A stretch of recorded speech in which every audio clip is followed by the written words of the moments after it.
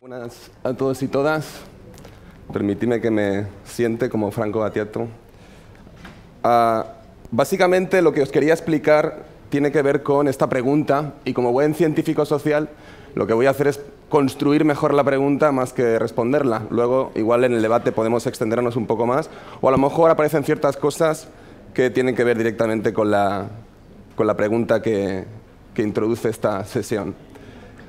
Eh, lo haré de esta manera, bueno, soy un poco pequeño, creo que se ha cambiado el formato, lo haré de esta manera a través, primero os explicaré mi enfoque, cuál es el enfoque a la hora de proponer esta pregunta eh, y si hacemos una economía redistributiva, que como entenderéis hay un punto a la hora de oponerla a una economía colaborativa, tal y como se entiende ahora.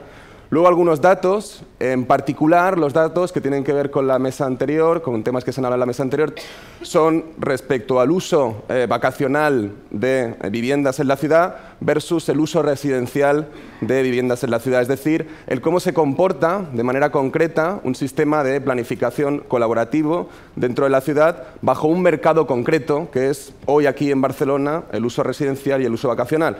Es decir, algo que tiene que ver más con el valor de cambio de las ciudades, el turismo, o con el valor de uso de las ciudades, que es el derecho a la vivienda. ¿no? Aquí hay, digamos, una tensión casi histórica en la producción de ciudades. Y luego, por último, cuál es el plan, que veréis que tiene que ver también cómo se planifica esto en la ciudad y cómo se podría llegar a planificar. Sobre el enfoque, dos ideas. La primera, con la que podemos estar más o menos de acuerdo, pero es el enfoque que le doy yo a esta cuestión, tiene que ver con esta idea de que la interacción entre dos sujetos individuales propietarios, eh, consumidores, de relación, digamos, de eh, consumidor-proveedor, siempre tiene efectos eh, colectivos. Si esta interacción entre dos sujetos se diera en una isla desierta, en el cual pues, no hubiera infraestructuras públicas, no hubiera capital privado, no hubiera paternalidades público-privados, no hubiera relaciones sociales, relaciones de poder, de dominación, etc., si esa relación económica entre dos sujetos se diera en una isla desierta, a lo mejor no tendría efectos colectivos. Pero aquí, hoy, en Barcelona, sí tiene efectos colectivos. ¿Qué efectos colectivos? Eh, efectos como, por ejemplo, el incremento del valor o la degradación del territorio, es decir, si esa interacción se acumula en ciertas zonas de la ciudad, hace que, ¿no? que el circuito de valorización de un terreno concreto de la ciudad, de un distrito concreto de la ciudad, tenga más valor que otros que acaban desvalorizándose, ¿no? porque la densidad de población, la movilidad, el consumo es menor. ¿no?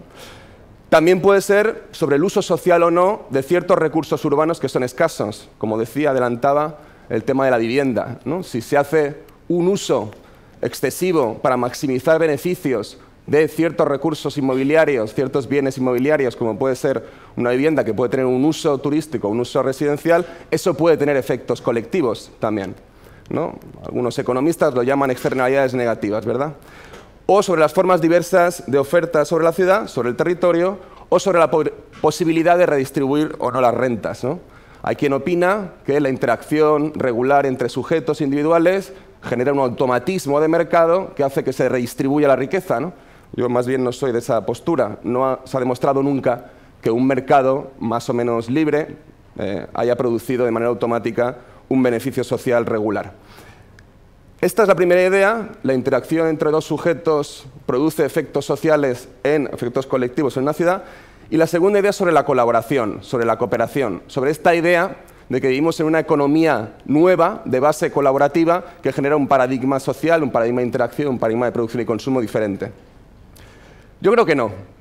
Eh, una de las personas que estudió a fondo el proceso de, economía medieval, mercantilismo, capitalismo, en sus orígenes, como sabéis, fue Karl Marx. Karl Marx tiene un capítulo muy interesante en el que habla de la cooperación en la fábrica y de cómo se ordena la cooperación en la fábrica. Es decir, que en el propio sistema industrial, en el propio digamos, origen del mercantilismo y del capitalismo, ya hay una forma de planificar la capacidad cooperativa latente en el cuerpo social, disciplinando el trabajo, la división social y técnica del trabajo, la jerarquía del trabajo, la cooperación, la coordinación de la fuerza de trabajo colectiva para extraer mayor rendimiento, La colaboración, la cooperación no es algo nuevo. Siempre ha existido dentro de cualquier tipo de economía porque es la naturaleza interactiva, intersubjetiva del ser humano. Es un hecho antropológico. Somos seres sociales. El tema es cómo se ordena, cómo se planifica, cómo se regula esa colaboración y esa capacidad cooperativa que se, ha hecho desde el inicio en el sistema de producción capitalista. En fin, Marx explica esto y habla de que hay dos formas. Hay bueno, que se ordena la producción, se ordena la colaboración dentro de la fábrica para extraer mayor plusvalía, ¿no? mayor rendimiento de la fuerza de trabajo y para poder eh, invertir ese excedente en futura producción.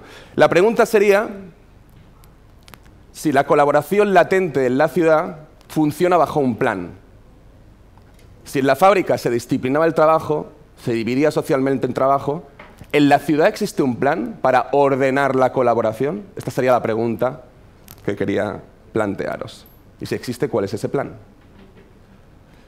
Ah, si vemos un ejemplo concreto, como decía, a través de algunos datos, veremos cómo puede llegar a operar ese plan a nivel urbano en la ciudad. Es decir, aunque no hay una planificación estratégica diseñada, sistematizada, en la ciudad operan reglamentos públicos, obligaciones, derechos, compromisos, formas de licencia, eh, convenios de propiedad, etcétera, que planifican la colaboración. Puede ser un plan desordenado, un plan caótico, pero que acaban planificando esa colaboración. Si miramos, como decía, el impacto del alquiler vacacional sobre el mercado del alquiler residencial en Barcelona, veremos cómo se ha ido ordenando en la ciudad, en Barcelona, hoy concretamente, y con el impacto social que está teniendo, una forma de eh, colaboración, una forma de cooperación como puede ser la que puede llegar a producir Airbnb en la ciudad. Esto es a partir de este trabajo, de este informe que se ha hecho por petición del Ayuntamiento de Barcelona para eh, producir el Plan Estratégico de Turismo por parte de Jordi Duatis, María Buigas y Elena Cruz. Lo que nos dice este informe, aparte de hacer un análisis, digamos, de cuál ha sido la penetración del sector turístico en la ciudad, de 1,7 millones en el 90, 8,4 millones en el 2014 de número de turistas en la ciudad, también habla de que ese proceso ha generado nuevas demandas. Nuevas demandas para eh, consumir, para, eh, digamos, eh, transitar la ciudad, que el propio sector hotelero no ha sido capaz de absorber, debido a su rigidez, debido a su falta, digamos, de producción de valor añadido para esa nueva oferta. Y que esas formas nuevas de demanda han creado un fenómeno social y un fenómeno socioeconómico muy concreto en Barcelona que además se ha dado en nuestra ciudad de una manera bastante, digamos, acelerada, más que en otras ciudades en estos últimos cinco años, que es ir convirtiendo en viviendas de uso turístico lo que eran viviendas de uso residencial. Esto, imagináis, eh, que se explica, entre otras muchas cosas, por una especialización de la economía de la ciudad, ¿no? una especialización de una economía, eh, digamos, financiero-inmobiliaria, en la que se extraía renta del suelo a través de un ataque también al derecho a la vivienda, ha pasado a un tipo de sector que ha sido mucho más resistente a la crisis como ha sido el turístico. Por tanto, esa conversión, esa transformación de la bienes inmobiliarios para uso residencial en bienes inmobiliarios para uso turístico tiene que ver con un proceso de crisis económica, con un mercado que sostiene mejor que otro y con una serie de eh, demandas que se producen en la ciudad. Lo que se ve en este informe que han realizado para el Plan Estratégico de Turismo de la ciudad es que las plataformas online facilitan el surgimiento de esa, oferta y también, y esto es un efecto de esa actuación entre sujetos individuales, un efecto colectivo, también hace que muchas de esas eh, viviendas de uso eh, turístico no tengan, por ejemplo, licencia, que es una forma de planificación pública para poder extraer eh, renta de beneficio colectivo de una interacción económica en la ciudad.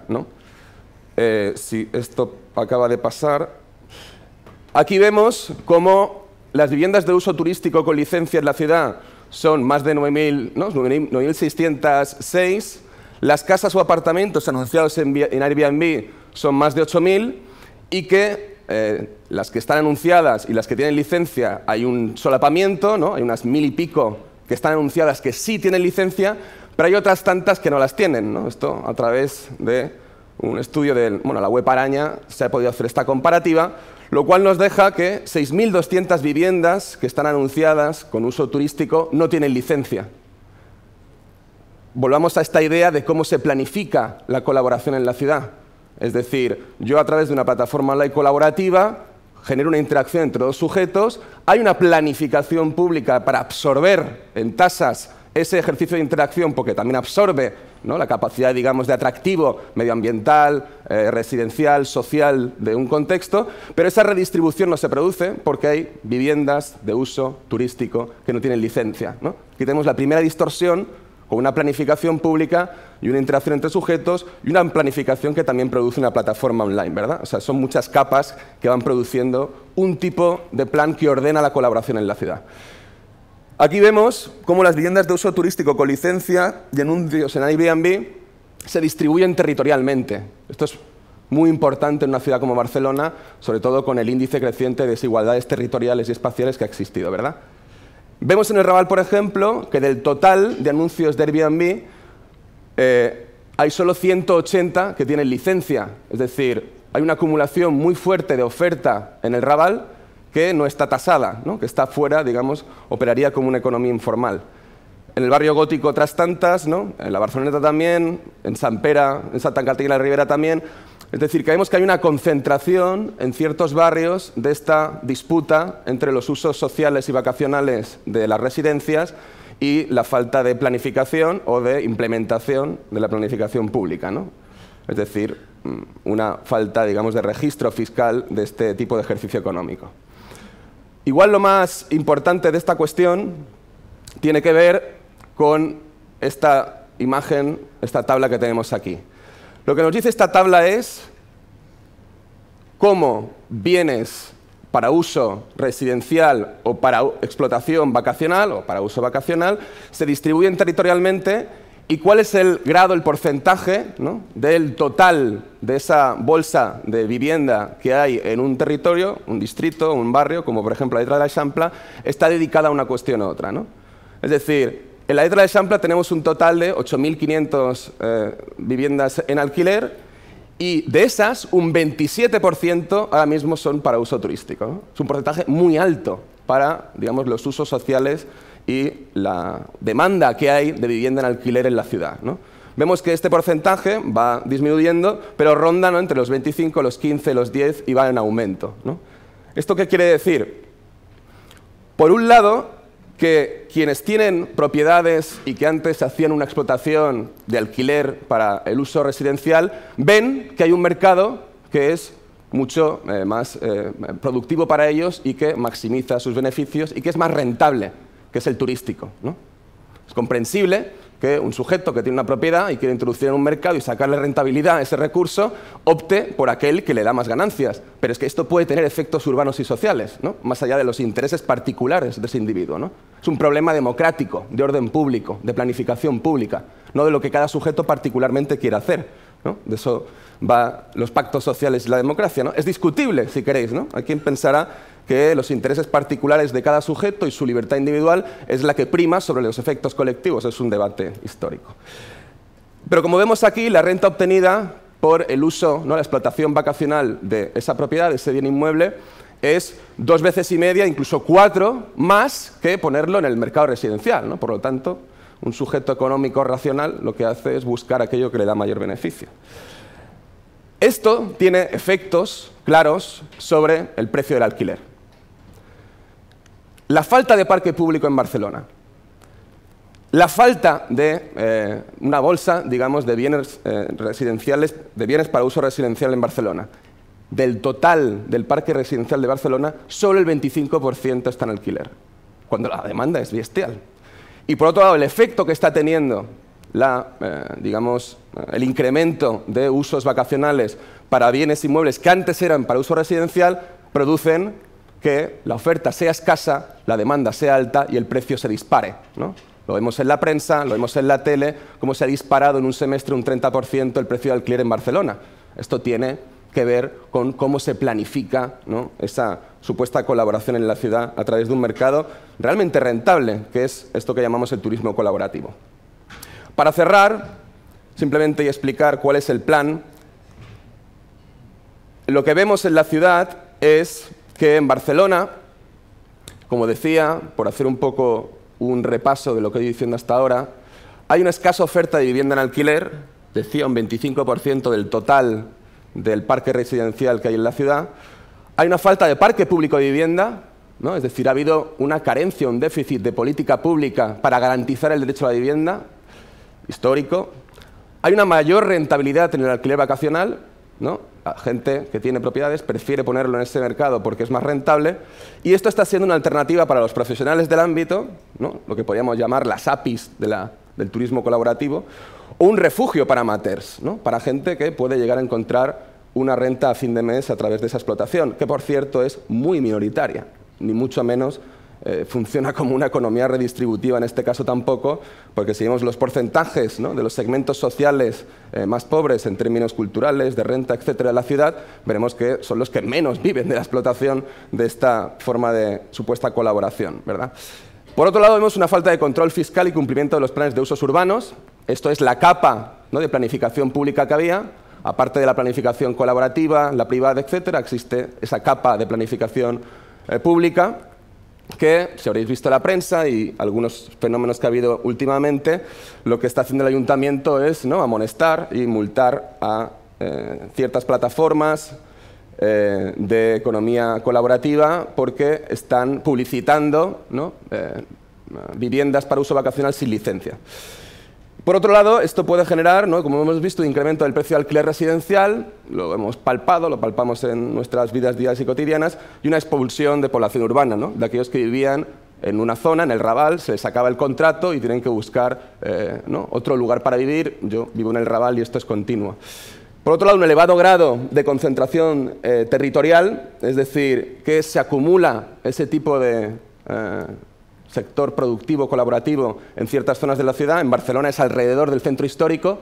Esto es lógico, es decir, el centro histórico ha sido el que mayor capital simbólico ha acumulado, mayor atractivo turístico, mayores signos de distinción, eh, mayor, digamos, producción cultural, y esto atrae al turista, ¿no? que quiere tener una experiencia singular de ciudad. ¿no? Al parecer, eh, digamos, transitar la periferia de la ciudad no tiene un relato, una narrativa y pierde atractivo, lo cual es también curioso. Si queréis mirar los números de cuántos alquileres eh, para uso vacacional hay en Nou Barris, en este barrio, veréis que hay cero.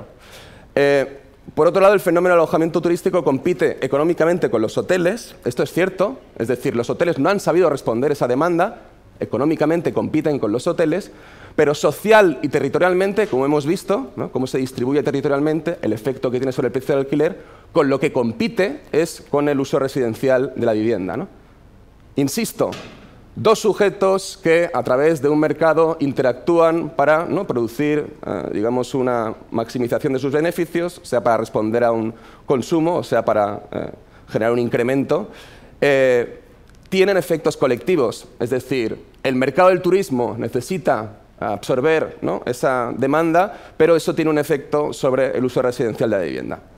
Por otro lado, el efecto del uso turístico sobre el residencial es un fenómeno de tantos que están ocurriendo a través de portales, de plataformas y de usos sociales, obvio, de las plataformas de economía colaborativa. Si pensamos en los derechos laborales o si pensamos en el impacto social y medioambiental de ese tipo de turismo, veremos en el fondo que los retos son muy similares al turismo tradicional. Son los mismos efectos que estaba produciendo la industria del turismo tradicional. Entonces, probablemente la ordenación de la colaboración respecto al turismo tradicional es diferente, el cómo se planifica, cómo se regula, cómo se ordena la capacidad colaborativa del cuerpo social es diferente, pero las externalidades negativas tanto en el medio ambiente, en el territorio y específicamente, creo que urgente hoy, sobre el uso residencial de la vivienda, es mayor o eh, igual, probablemente más contundente que el del turismo tradicional. Para cerrar, vuelvo a la pregunta, decía que mi misión como científico social era construir mejor la pregunta, espero haberlo conseguido, es que si en lugar de una economía rentista, de una economía basada en la concentración territorial, una economía basada en la competencia entre los usos, digamos, em, vacacionales o los usos residenciales de la vivienda, si pensamos una economía redistributiva basada en la justicia social y territorial, la justicia espacial, la justicia a la hora de pensar cómo se redistribuye la riqueza en todo el conjunto del territorio barcelonés, y en la justicia social. Es decir, una vez más, pregunta clásica, antes también aparecía, cómo se planifica el equilibrio entre lo que son las libertades individuales de sujetos para poner, eh, sacar el mayor rendimiento de su propiedad y los efectos sociales colectivos que puede tener eso o la garantía de derechos que hay que dar a la ciudadanía para formar parte de eso que llamamos eh, Barcelona y de que todos y todas seamos eh, barceloneses en igualdad de condiciones. Yo creo que la economía colaborativa no resuelve esto.